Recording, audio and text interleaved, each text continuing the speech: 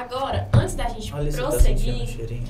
faz uns minutinhos que a minha produção colocou aqui e o cheiro já tomou conta Ah, do, do nosso estúdio.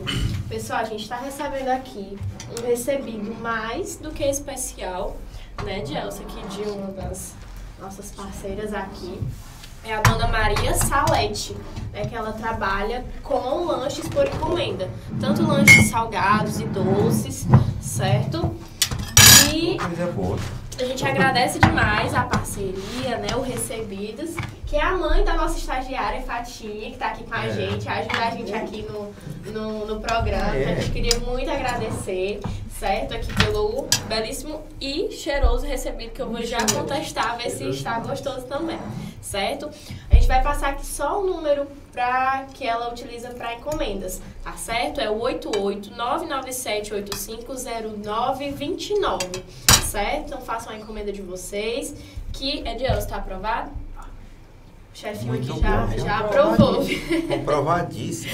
Muito obrigada, dona Maria Salete. Pode encomendar, viu? recebido. Muito, muito Empadão, bom, né? viu? É empadão, né? É empadão o nome? Muito É bom, viu? Muito, muito bom. Deixa eu Pode experimentar. fazer a encomenda aqui, porque vocês aí do outro lado não estão sentindo o cheiro, mas aqui está muito forte, realmente. E muito gostoso, por sinal. Muito bom. Bom mesmo. Realmente aprovado. Inclusive, se quiser mandar algum- nos próximos, a gente está aceitando também. Só agradecendo também, pessoal, aos nossos demais patrocinadores, certo? Que estão com a gente no projeto. É, Construtex, Energia Solar, né? Autoescola Excelência. Excelência. E todos os demais patrocinadores que acompanham a gente. E reforçar que se você quer a sua marca sendo anunciada aqui, entre em contato que a gente te passa tudo direitinho, tá bom? Acompanha a gente lá pelo Instagram, que a gente comunica tudo direitinho por lá, tá bom? Exatamente. Ali você ainda leva de quebra nosso digital influencer lá pra sua loja, né, Alicia? Eu não sei disso aí não, eu tô anunciando aqui sem, com, sem comunicar digital influencer, que não é Calma, influencer. Alicia. Tô brincando. Muito bom. Agora, tem também uma história que a gente conversou em off, aí vocês confirmaram que o, o, o Patrick Mendes é enterrado na igreja, né? Sim. Uhum. É aonde ali na igreja? É, é bem, bem visível porque é um- uma, uma lápide boa de granito. Aqueles dizeres que tem lá, eu fui pegar com o padre Oswaldo, foi quem Uhum. fez, né? Que ele, muito linda as inscrições que tem lá, Uhum. bem dentro do estilo dele, que ele está indo pra, de trem para Nova Jerusalém, que é o céu. Uhum. Ali, onde tem o, o altar do coração de Jesus, Hum. era o altar do Santíssimo. E a honraria feita a- aos padres é ser enterrada ao lado da capela do Santíssimo. Como o Santíssimo na época era ali, ele foi enterrado ali junto daquele altar. Entendeu? E é enterrado na igreja. Pronto, uma curiosidade. Mais uma curiosidade do Padre Chimenez. Ele não gostava de velas acesas. Tinha uma boa vela. Tinha horror a velas. De finado, a gente tem aquele hábito, né, de acender uma vela no túmulo. Ele disse que não. Não precisa. Não há necessidade de vela. Ele tinha muitas peculiaridades, É. né? Assim, detalhezinhos que faziam dele, fazem dele, né, único. Hum. Que é, vocês contando assim é realmente peculiar. É. E Você tem até, às vezes, histórias que a gente não consegue acreditar hoje em dia acontecendo. Sim. É. É, Tem gente, a gente contando essas histórias, tem gente que diz assim, oh meu Deus, por que eu não nasci 10 anos antes para ter conhecido esse homem, né? E a gente teve esse privilégio, né, de, de conhecê-lo, né? Foi quem me batizou. Desde quando eu nasci, a, a igreja daqui, eu sempre fui católico. E a minha referência era o Padre Chimenez. Eu estudava em Fortaleza, quando eu vinha para cá, todo mundo ia se divertir e eu ia estudar. Mas o padre, eu achava, isso para mim era um, um prêmio. Eu achava muito bom. No caso, a sua, né, é, entrar pra essa parte da igreja e tudo, é porque a sua família já era ou foi partido de você mesmo? Não, não, já era. Já era, né? Já tinha essa Mas influência. Já eu tinha, acho que né? ele teve uma afinidade muito grande sua. Foi, agora, por quê? Não sei. Eu sei que eu tinha uma afinidade, né? É tanto que eu tenho vários quadros desses, não, não só desse, mas desse modelo, mas de vários outros. Livros, é, textos.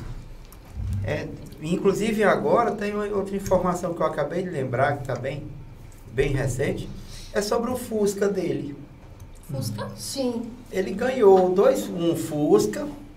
Deixa eu. eu, eu sei Sabrina, se querer pode contar com mais, mais propriedade. ocasião Ele fez é, jubileu de prata de sacerdócio. 25 anos de sacerdócio. A dona Linda era prefeita na época.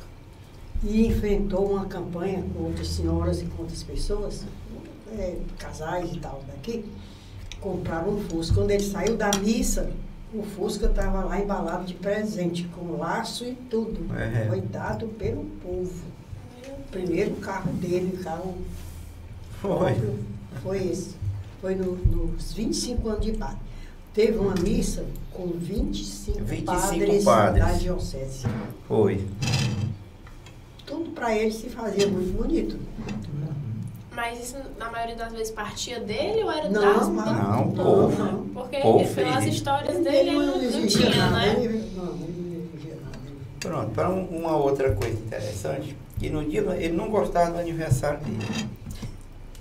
Eu vou lhe contar duas, duas coisas 5 interessantes. de novembro. Certo? E um dia, um dia anterior ele pegava o, o Fusca dele e viajava. Ia para Muribeca, aonde ele falava muito, São José dos Mocós.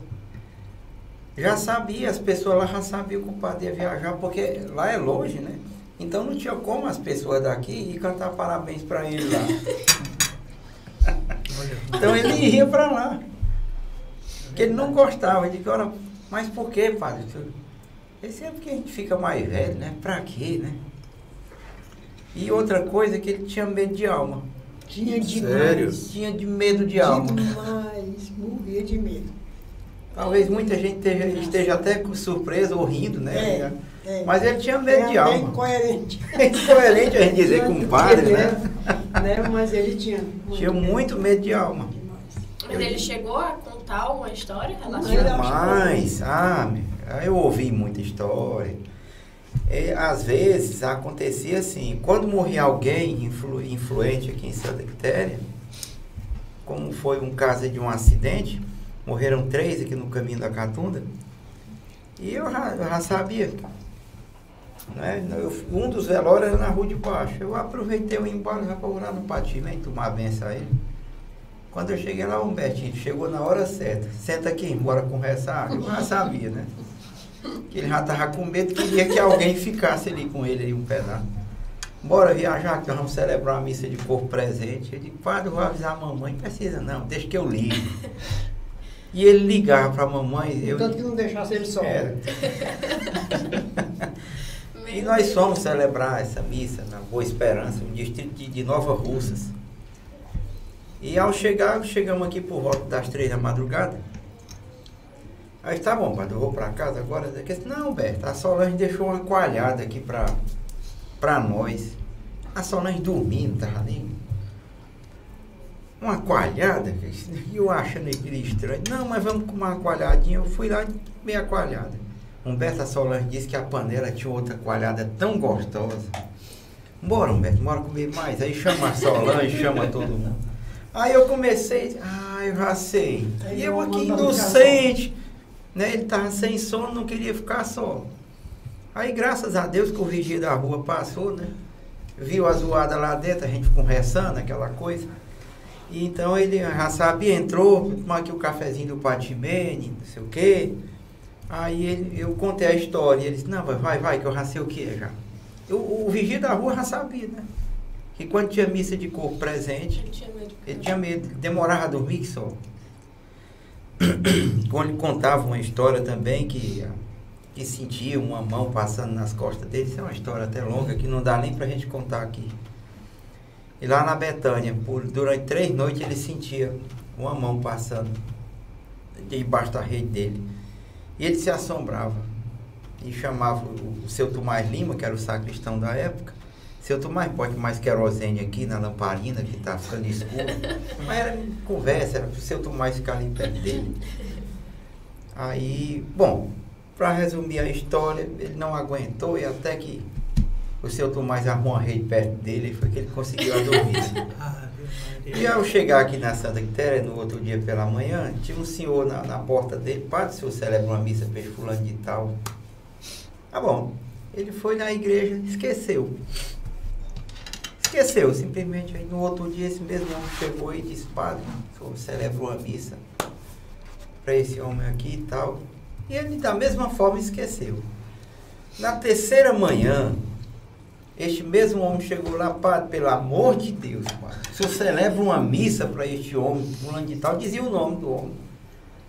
Meu filho, por que é que o senhor, você quer que eu celebre essa missa para essa pessoa? Esse padre, porque ele tentou conversar com o senhor lá na Betânia, distrito da Hidrolândia, e o senhor não quis conversa com ele. Aí ele disse que pegou, como é o nome do homem mesmo, foi logo pegando um papel, tirando no bolso. Pode querer conversar. Não, não quero conversa com ele não, vou logo é celebrar a missa. Isso aí eu estou contando aqui, essa história, porque ele me contou essa história. Ele me contou em detalhes, que eu, Uhum. certo? Que eu, que eu fiz aqui só um resumão. Mas ele tinha medo de alma. Que ele é legal. Ai, Maria. Eu não julgo. Ele disse que tinha medo. Ele disse, padre, como é que o senhor que é padre e tudo? Como é que o senhor dá um conselho para alguém que tem medo de alma? Não sei o quê. É complicado. Aí ele dizia, é porque eu tenho medo que eles venham pedir missa. Ora. Também não, eu tenho medo do mesmo jeito. É eu, hein? É isso mesmo. É...